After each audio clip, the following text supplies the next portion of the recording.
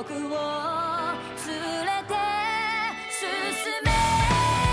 Hola, soy Bash y hola amigos, bienvenidos una vez más a nuestro canal. Y bueno, el día de hoy, como ya es costumbre en el canal, les traigo la review del capítulo número 10 de la novela ligera de Kimetsu no Yaiba. Efectivamente, una increíble sección del canal donde complementamos historias acerca del manga de Kimetsu no Yaiba. Y en esta ocasión les traigo una historia de Giyu Tomioka. Y la verdad es que simplemente me encantó ya que nos narra la convivencia de los pilares en una misión muy interesante en la que tienen por objetivo hacer reír a Giyu. Efectivamente esto se pondrá bueno, así que sin nada más por añadir, comencemos de una vez. La historia de este episodio comienza desarrollándose durante el arco de entrenamiento de los pilares, donde el primero de ellos era Usui, el pilar del sonido, y el último era el pilar del agua, Giyu Tomioka. Aunque únicamente Tanjiro es el que había podido llegar a ese punto en el entrenamiento junto a Giyu. Cuando Tanjiro llegó, Tomioka se encontraba en una lucha contra el pilar del viento Sanemi. Entonces Tanjiro intentó detenerlos recibiendo un golpe de Sanemi dejándolo inconsciente por casi 15 minutos. Esta pelea realmente era un entrenamiento entre los pilares, pero Tanjiro se había preocupado de más y es por eso que salió herido. Pero cuando Tanjiro despertó, comenzó a platicar con Giyu sobre Sanemi y cómo el Oaji era su comida favorita, por lo que decidieron que posteriormente le darían algo, aunque no estaban seguros cuál era su Oaji favorito. Ambos se mantuvieron hablando de Sanemi por mucho tiempo, entonces Giyu le preguntó a Tanjiro cómo habían sido los entrenamientos con los otros pilares, a lo que Tanjiro afirmó que todos eran increíbles. Entonces Giyu preguntó por qué le prohibieron entrar en contacto con Sanemi, a lo que Tanjiro relató el conflicto que habían tenido, también preguntando si Sanemi siempre había tenido esa actitud agresiva. Entonces Giyu comentó que a él también le habían prohibido acercarse a Sanemi, lo que sorprendió mucho a Tanjiro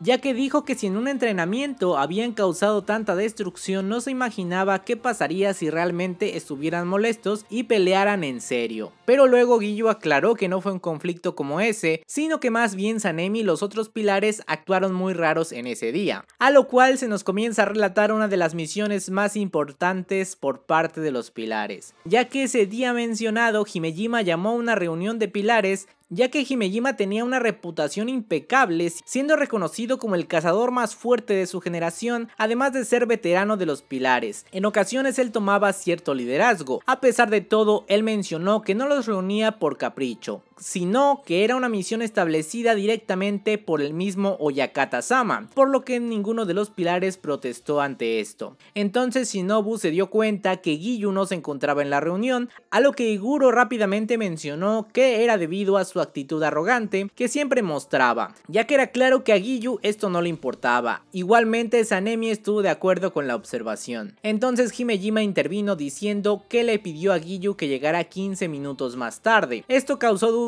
entre los otros pilares, incluso Usui, el pilar del sonido, preguntó si era el momento de despedir al pilar del agua ya que no podía coordinarse con sus otros compañeros. Entonces Rengoku protestó rápidamente diciendo que si realmente querían hacerlo, no debería hacerse a sus espaldas y era mejor hablar de frente. Tokito mencionó que no le importaba mostrándose distraído, Iguro y Sanemi estaban de acuerdo en expulsarlo, Mitsuri no sabía qué decir en ese momento, por lo que efectivamente se comenta lo que alguna vez dijo Shinobu que todos odiaban a Tomioka, o al menos algo parecido. En ese momento Shinobu solo estaba pensando qué es lo que debería hacer hasta que Himejima dio un aplauso para que todos se calmaran, y finalmente aclaró cuál era el objetivo de la reunión, diciendo que la misión de los pilares sería hacer reír a Tomioka en cuanto llegara a esa reunión. Tokito simplemente seguía distraído sin darle ninguna importancia, por el contrario Sanemi estaba furioso preguntando por qué tendría que hacer algo tan estúpido. Entonces Himejima solo confirmó que lo debían hacer porque Oyakata-sama lo ordenó. Dejando a todos los pilares muy confundidos, Himejima repitió las palabras exactas de Oyakata-sama diciendo que contento estaría si pudiera ver a Giyu sonreír desde el fondo de su corazón. Todos mencionaron que realmente nunca vieron sonreír a Giyu, aunque Usuya argumentó que por qué lo habría elegido a él si Tokito tampoco sonríe mucho, aclarando que Tokito era un joven que perdió a su hermano, además de sus recuerdos recuerdos, siendo como una marioneta hueca, pero Rengoku siempre mostraba preocupación por él, aunque aún no mostraba signos de abrir su corazón. Esto hacía muy raro que solo se mencionara a Tomioka y no se incluyera también a Tokito. Entonces Himejima aclaró que Oyakata-sama dijo que mientras Tokito recordara su verdadero yo, definitivamente encontraría su propia sonrisa. Sin embargo, Tomioka prefiere volver a su camino y continuamente forzarse a la desesperación. En esta generación cada pilar tenía su propia forma de hacer las cosas. Rengoku, Mitsuri y Shinobu se consideraban personas que se acercaban a los demás. Tomioka y Tokito eran inexpresivos, Himejima, Sanemi e Iguro tampoco eran muy agradables, aunque Usui no se consideraba frío, tendía a hacer las cosas a su propia manera. A pesar de eso, todos se llevaban relativamente bien, debido probablemente al sentirse relacionados por tener el título de pilar. Pero Tomioka era diferente ya que había tenido conflicto con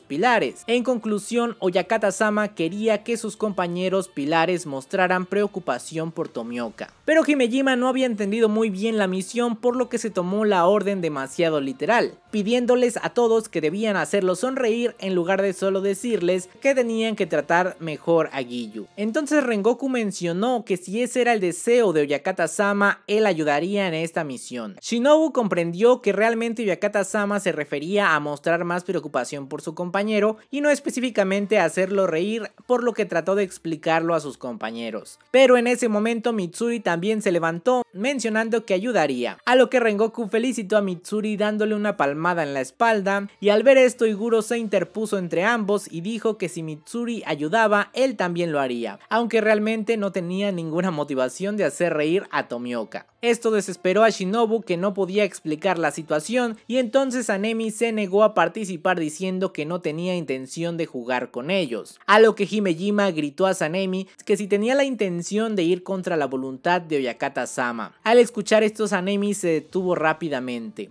Entonces Himejima continuó diciendo, si estás preparado para pisotear los deseos de Oyakata-sama, entonces vete de inmediato. No te detendré, puedes hacer lo que quieras. El tono de Himejima era especialmente tranquilo, pero tenía claramente un tono de seriedad que no podía explicarse, haciendo que finalmente Sanemi decidiera quedarse. Entonces Himejima pidió a todos los pilares que pensaran en una forma de hacer reír a Tomioka, y a pesar de que Shinobu fue la única que entendió lo que Oyakata Quería, el resto estaban listos para hacer reír a Giyu, por lo que Shinobu simplemente se rindió y se unió a ellos. Finalmente apareció Giyu siendo saludado por Usui en primera instancia, aunque estaba sorprendido por lo que encontró en la habitación. Al parecer se había organizado un concurso de vencidas, donde se desarrollaron tres batallas, Mitsuri vs Tokito, Sanemi contra Iguro y Himejima contra Usui. Quien sugirió este concurso fue Usui y al parecer el plan era dejar que Giyu ganara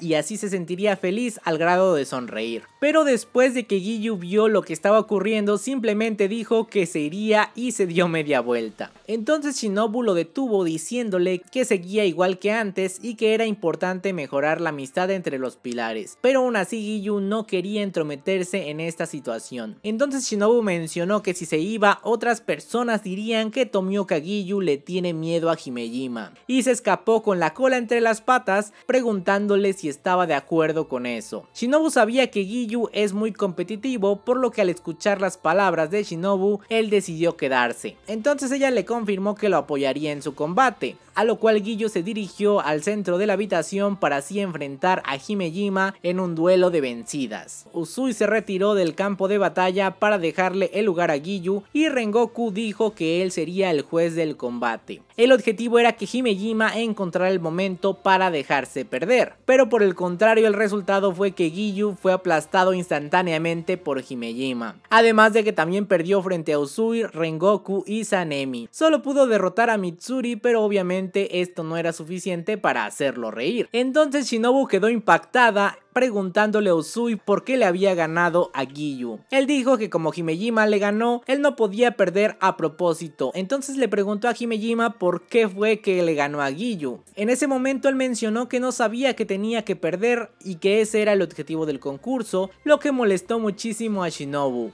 Entonces Usui comenzó a burlarse de ella diciendo que había quedado en último lugar y que debería entrenar más ya que era la pilar más débil, lo que enfureció a Shinobu y dijo que la fuerza no lo es todo en una batalla real. De hecho este resultado de las vencidas se da a conocer en un extra y si efectivamente se nos muestra a Shinobu como la pilar más débil en cuanto a fuerza o en el concurso de vencidas. Para calmar las cosas apareció Mitsuri diciendo que era su turno y que a pesar de todo era muy buena para hacer reír a la gente ya que siempre hacía reír a sus hermanos menores. Aunque Shinobu recordó las edades de los hermanos de Mitsuri siendo estos muy pequeños y haciendo que se preocupara por el método que usaría para hacer reír a Tomioka. Pero entonces Mitsuri se acercó a Tomioka y comenzó a hacerle cosquillas como si fuera un niño. Esto habría funcionado en cualquier chico, pero Giyu era un adulto y esto lo puso muy incómodo. Cuando Mitsuri se dio cuenta de lo que estaba pasando, simplemente se alejó muy apenada. Esto hizo que Iguro se pusiera furioso reclamándole a Tomioka y estando a punto de sacar su espada para atacarlo. Pero para eliminar la tensión apareció Rengoku quien al parecer había salido de la habitación sin que nadie lo hubiera notado al entrar llevaba un par de lentes sobre su cabeza y entonces le preguntó a Giyu si había visto sus lentes. Entonces Giyu respondió que estaban en su cabeza, además de decir suavemente, Rengoku, no solo tu vista se ha vuelto mala, tu cerebro también se volvió estúpido.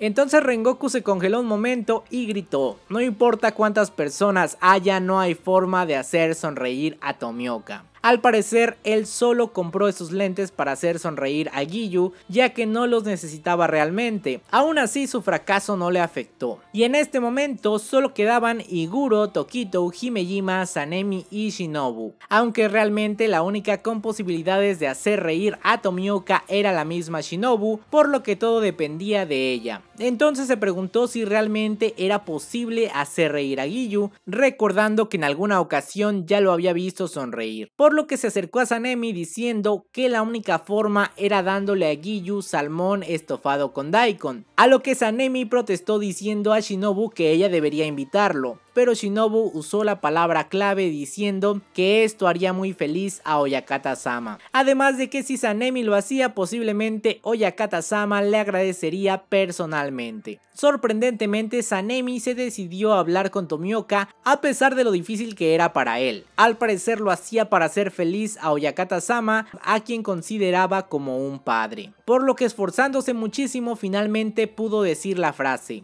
¿Quieres ir a comer salmón estofado con daikon? A lo que Giyu sin pensarlo dijo que no. Y esto provocó finalmente aquel conflicto entre los dos pilares. Tanjiro estaba sorprendido al escuchar esta historia ya que no había escuchado una historia de los pilares interactuando juntos, incluyendo a Rengoku por lo que pensó en contarle a Senjuro en algún momento. Entonces Tomioka mencionó que aún no sabía por qué Sanemi se había molestado con él, a lo que Tanjiro reflexionó y le dijo que posiblemente fue porque Sanemi quería comer salmón estofado con daikon junto a él, así que se molestó cuando lo rechazó. Tomioka mencionó que una vez que hicieran las paces con el Oaji, le preguntaría a Sanemi si quiere comer salmón estofado con daikon junto a él. Tanjiro se puso feliz pensando que ellos podrían llevarse mejor, lo que provocó que Tomioka mostrara una leve expresión de felicidad, prometiendo que en adelante trataría de llevarse mejor con los otros pilares, y a pesar de su expresión, Tomioka era una persona muy amable que habría deseado poder sonreír frente a Rengoku, aunque lamentablemente esto ya no fue posible. Finalmente Giyu le dijo a Tanjiro que era momento de comenzar con el entrenamiento, mientras Tanjiro pensaba que debía entrenar duro para no perder a nadie más. Y así es como termina esta historia. Y bueno, como dije, un complemento adicional a la historia de los pilares, dándonos a relucir la personalidad de cada uno de ellos. Increíble la aparición de Rengoku y bueno, la actitud de Guillo también ante diversas situaciones, creo que es un detalle interesante. Personalmente me hizo reavivar más el Shinobu por Guillo, sabiendo cuánto Shinobu conocía a Guillo y el compañerismo que había entre ellos, pero bueno, sabemos que esto ya no se pudo dar. Y bueno chicos, este podría ser el último capítulo de la novela ligera, la verdad es que queda un capítulo más, pero habla sobre Academia Kimetsu y no estoy tan interesado en traerlo, así que muy posiblemente me espere hasta que salga la tercera novela de Kimetsu no Yaiba. Así que sí, por el momento este será el último último episodio que traemos en esta sección. Pero bueno, aún así espero que apoyen mucho el video y también los videos anteriores para que cuando salga la tercera novela traducida pues lo podamos traer. Y antes de despedirme quiero agradecer a nuestros queridos miembros Ricardo Gabriel, Robert Rodrick, Elisio Dinerillo, Toga Jimiko, Morningstar, muchísimas gracias por todo su apoyo. Y ahora sí, sin nada más por añadir, adiós.